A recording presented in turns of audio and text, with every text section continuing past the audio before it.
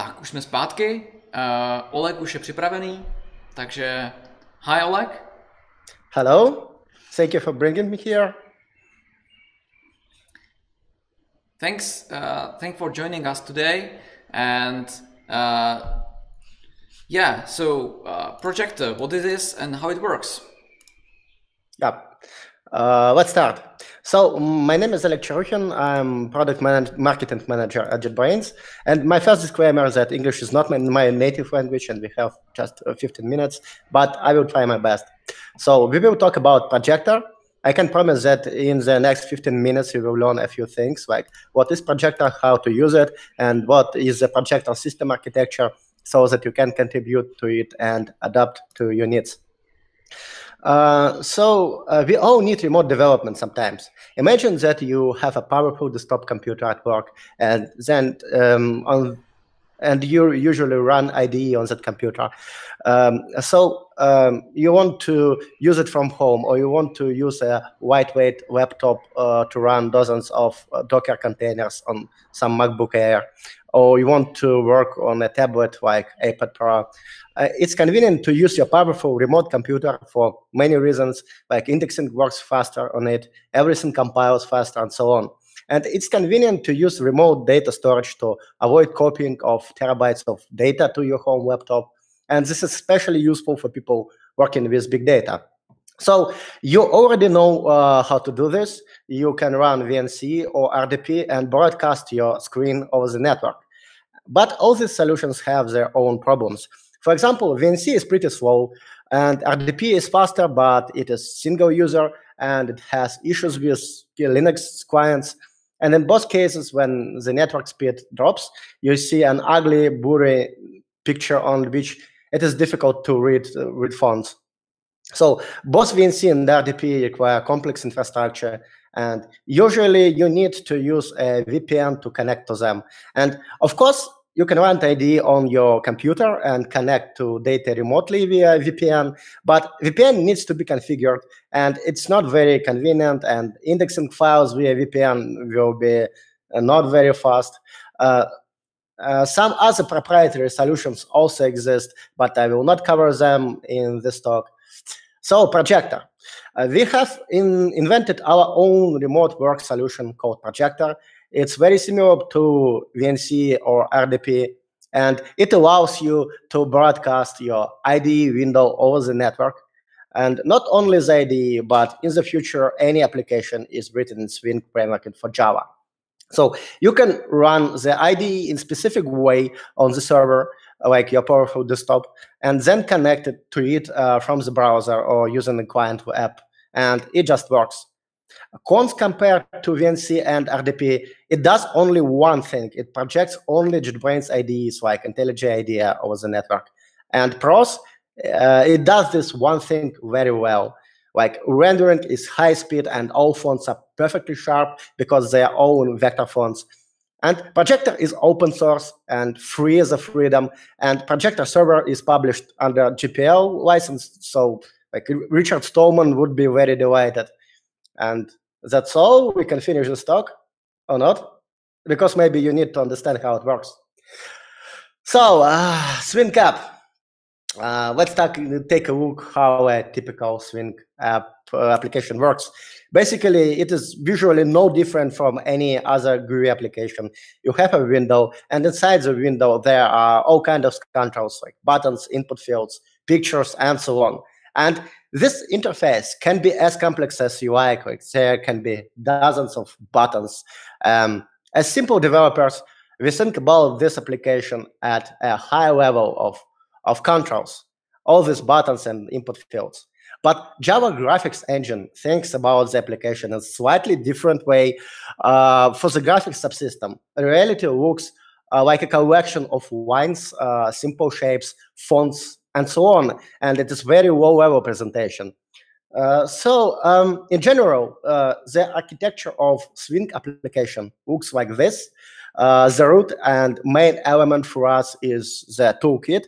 This is an abstraction for all the graphics, and each operating system have, has its own operation of the implementation of the toolkit. Um, and if you look in more detail, um, the framework operates with two types of components, heavyweight and lightweight. Uh, so heavyweight components are controlled by the operating system. And uh, this is some kind of physical representation of all our controls in the operating system. And lightweight components are controlled by the framework itself. And they are drawn on top of the heavyweight components. So the difference is that if your operating system only knows about orange buttons, they on, uh, then only orange buttons can be made using uh, heavyweight components and nothing else. And lightweight components can look whatever you want. For example, you can simulate the appearance of Windows XP or Windows 10 or KDE, whatever. So Java even has its own uh, skins for designs called look and feel. And if you remember the name like Nimbus, that's it. Um, so uh, from the Java perspective, each heavyweight component has its own representation entity called peer. And from the point of view of the operating system and system level C++ JDK code, uh, peers are implemented in JDK as a native code, and we don't need to know how they work. Uh, it's like magic. But from the Java code mm, Java code point of view, very complex language, English, you know. So peers look, look like this, uh, like on the slide. So it consists of three dozen setters, and all calls uh, in it delegate drawing operations to something called graphics 2D, graphics on, on the screenshot. Uh, so what if you want to draw all of this in a browser? So we need to re-implement this entire graphics subsystem, but by ourselves. So we need to replace toolkit. We need to implement heavyweight components, implement our graphics 2D on top of canvas in the browser. And at the same time, better to simplify the work as much as possible so that you don't have to write half of the JDK yourself. Um, so A AVT and Swing uh, work slightly different on different operating systems. So we decided to implement only a subsystem for Linux for now. And that's why Projector only works um, on Linux on a bare operating system. And or if you want to use Windows or Mac, uh, it's need it needs to be run in Docker or WSL, unfortunately. So uh, there are many different heavyweight components. So we simplified the work by implementing peers only for what is really needed for JetBrains IDEs to work. So absolutely any application will have at least one window, one panel, and uh, we have implemented all of them. And uh, different peers uh, also exist in our code, but they have empty stub implementations, uh, methods that return int uh, in such fake implementations. They always return zero, and methods that uh, like return void, they do nothing, and so on. So, um, and the final part is graphics 2D. So graphics 2D is um, it looks like on the slide. Uh, but in this class, we must implement as much as possible to work fine in the browser. And um, the drawing comments on the top of our version of Graphics 2D uh, do not draw on the screen, but on the HTML5 canvas in the browser. So implementing this one was not so easy. Uh, for example, the first implementation in browser runs at 5 FPS, and those who play computer games should understand that 5 FPS is very slow. And therefore, uh, we came up with a set of tricky optimizations. Uh, so um, uh, this is how organized, so, so that each component is assigned to uh, its own message queue. And the queue looks like this on the slide. So uh, inside it has a builder into which we can put almost any sequence of graphic sections and optimize over them. So uh, the most tricky part uh, is images because they are not in vector format and still they must be transmitted over the network. And it turns out that we have five types of images in Swing and we implemented only three of them. And the simplest is a volatile image, which is used to display like off-screen surfaces, and uh, it is rendered um, using render primitives. And they are sent as a separate co command, so that's easier. But uh, the next step is buffered image, which, which must be sent as a bitmap. And in order not to send images again uh, every time, we cache them. And to do this, we use an utterly wild heuristic that tries to understand whether the picture has changed or not. And images uh, have a very complex hash function. It goes through all the pixels and sums them somehow in hash function. And it takes a long time. Uh, so we do hashing using like a private undocumented APIs in JDK. It hurts a lot, so don't try this at home. But but it works. So, but nevertheless, now it is very easy to find a wagging picture um, that is too big. But in the future, we will try to optimize this too. So, and the creepiest part is the multi-resolution image. Uh, they are used to draw something like toolbar, um, toolbars. Yep. Uh, when the toolbar is zoomed, uh, is zoomed in, the image is not scaled programmatically. Instead, another picture uh, of a larger size is loaded from the resources. And surprisingly, most of these images, um, um, like in real world applications, they display only a single resolution. So it's strange and surprising, but it is a fact. So we saved some effort, and our version of multi-resolution image can only work with one resolution. So um, other types of pictures are not supported at all. So if someone tries to draw them, they will get nothing. They will get an empty area. And fortunately, we um, like they hardly ever appear in real world applications. So uh, the main loop on the server looks like this, like on the slide. Uh, this may seem pretty lame, but in fact, many graphics engines do that, like Google's Filament, which is which runs inside Android, and we could try using schedule to thread pull something like that, but uh, this might be a more unstable solution since we would uh, have to resolve thread overlaps and all this system level stuff. Uh, so um, send all comments uh, function here. It collects all draw event uh, events from all the queues it collapses the duplicated and unnecessary messages. It collects all images. It compresses them and sends over the WebSocket. And on, on the other side of the WebSocket, all this is displayed in the browser. So um, as a default network message format and protocol, we use hand optimized JSON. This is how it looks on, on the slide. And you can see uh, all fields, uh, all, all fields are single letter. So this allows you to spend less traffic and parse the protocol faster. And this is a wild optimization from like dark era of technology. If you were a web developer in the early days of Ajax and JavaScript, uh, then you're probably seen all, all, the stuff all the time. Uh, so uh, other formats can be used too. For example, protobuf, anyone can write their own format, whatever, but JSON is too good to abandon it, actually. It's very fast.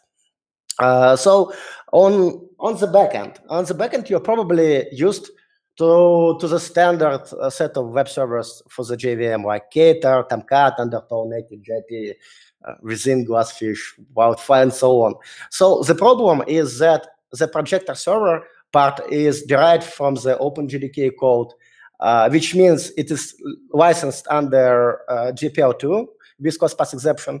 And all these servers are published under the Apache 2 license, which is incompatible with GPL2. Um, however, writing a WebSocket implementation by ourselves is quite difficult, and therefore we use a server called Java WebSocket, which was published on the GitHub by, by GitHub user Nate. So um, the only problem is that the server does not support HTTP, which we need to, to serve static files. And the author, Nate, I mean, uh, he doesn't want to add the support. And we understand why. So we had to come with a hack. And there is concept like code drafts uh, supported inside the server. And we have implemented a draft for HTTP protocol by ourselves. And maybe it works. Who knows? It, it mostly works. uh, so clients, uh, we have two clients, a browser and desktop. And in fact, uh, desktop client is Electron, so it has always been a browser.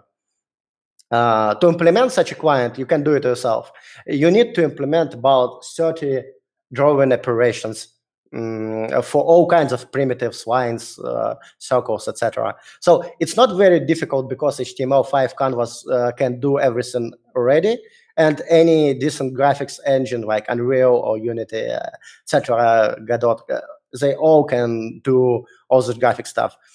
Um, we are writing a client and server in Kotlin, making it very convenient for us to share the code between the server and uh, web interface. It is not necessary to write the parsing of the network protocol twice again in different languages because there is only one language and it is Kotlin, remember. So uh, thanks to the fact that we have Kotlin, we can easily add existing protocols implementations as, as dependencies.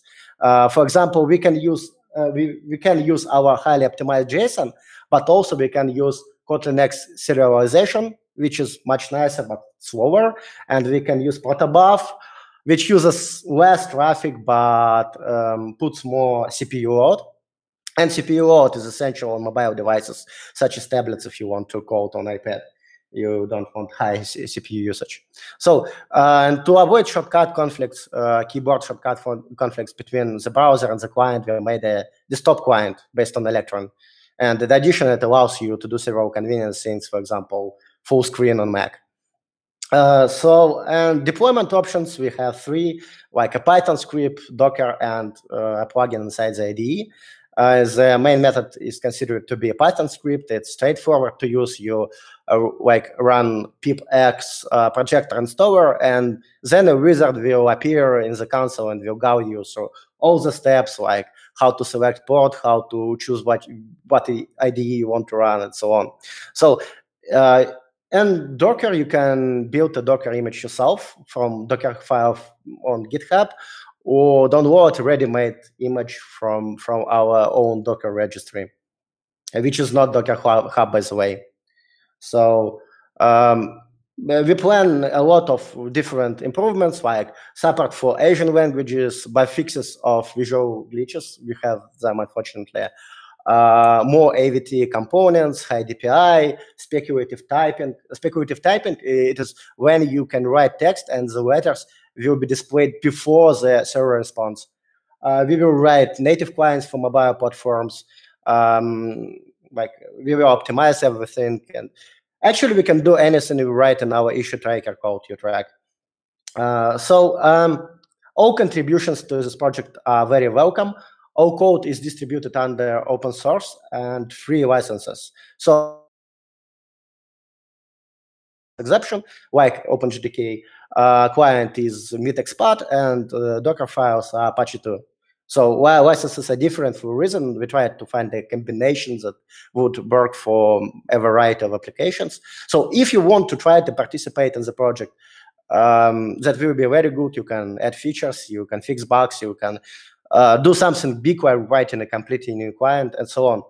Uh, so all links uh, are on our website, uh, like project.jetbrains.com. And uh, there you can download everything you need to use, and there you can find all the GitHub's links uh, and so on. So uh, that's all. Thank you for attending this talk and questions. Thank you for this awesome talk.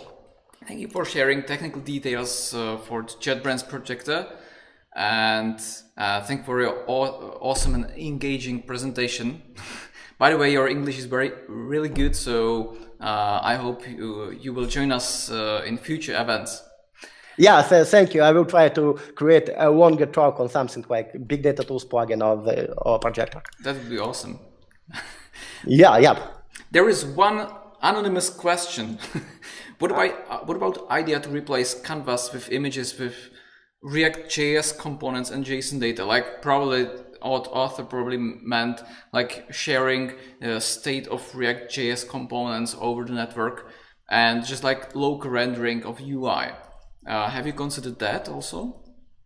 Uh, do I understand correctly that he wants to use a React.js on, on the client to speed up things using Shadow DOM, something like that? I think he meant like React-ish thing. Like re- re- reactive sync. Uh, yeah, yes, we can do this. Uh, but you see this, this infinity loop with 10 milliseconds wait. It, it's the most predict- predictable thing to do. And this is easiest way to do at the same time. Uh, we can, we can, of course, we can do much better, but it requires time. This is a very young project, and maybe um, a year after after this time, we, we will like roll out a completely different pipeline for publishing events. Uh, actually, we can, can try React like things. Okay, uh, last question, just briefly because we are running out of time.